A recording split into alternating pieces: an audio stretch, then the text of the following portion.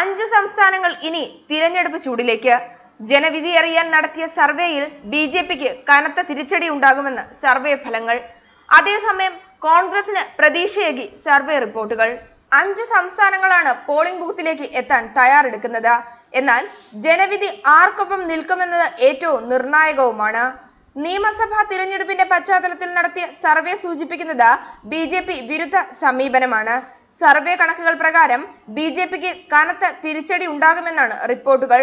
ഏറ്റവും അവസാനത്തെ C വോട്ടറിന്റെ survey ഫലവും സൂചിപ്പിക്കുന്നത് രാജസ്ഥാനിലും മധ്യപ്രദേശിലും തെലുങ്കാനയിലും കോൺഗ്രസ് അധികാരത്തിൽ ഏറുമെന്നതാണ്.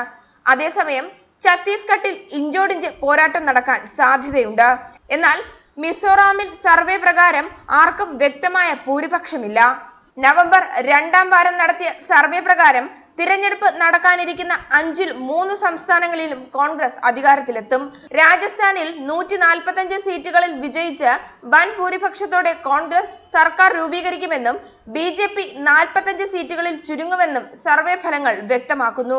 എന്നാൽ മധ്യപ്രദേശിൽ കോൺഗ്രസ് നൂറ്റി പതിനാറ് സീറ്റുകൾ നേടി നേരിയ ഭൂരിപക്ഷത്തിൽ അധികാരത്തിലെത്താൻ സാധ്യത നിലനിൽക്കുന്നതായും റിപ്പോർട്ടുകളുണ്ട്.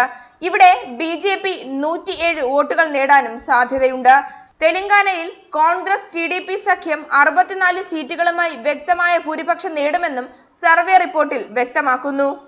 ഛത്തീസ്ഗഡിൽ ഇഞ്ചോടിഞ്ച് പോരാട്ടത്തിൽ ബി ജെ പി നാൽപ്പത്തിമൂന്നും കോൺഗ്രസ് നാൽപ്പത്തിയൊന്ന് സീറ്റ് സ്വന്തമാക്കുമെന്നും റിപ്പോർട്ടുകൾ വ്യക്തമാക്കുന്നു. അതേസമയം മിസോറാമിൽ ഒരു പാർട്ടിക്കും ഭൂരിപക്ഷം ലഭിക്കില്ലെന്നാണ് സർവേയിൽ പറയുന്നത്. മിസോ നാഷണൽ ഫ്രണ്ട് പതിനേഴ് സീറ്റുകളിലും കോൺഗ്രസ് പന്ത്രണ്ട് സീറ്റുകളിലും സോറാം പീപ്പിൾ മൂവ്മെന്റ് തൊണ്ണൂറ് സീറ്റുകളിലും വിജയിക്കുമെന്നാണ് സർവേ ഫലം. നവംബർ പന്ത്രണ്ടിനും ഡിസംബർ ഏഴിനും ഇടയിലാണ് അഞ്ച് സംസ്ഥാനങ്ങളിൽ വോട്ടെടുപ്പ് നടക്കുന്നത്. ഡിസംബർ പതിനൊന്നിനാണ് വോട്ടെണ്ണൽ. ന്യൂസ് ഡെസ്ക് മലയാളി വാർത്ത.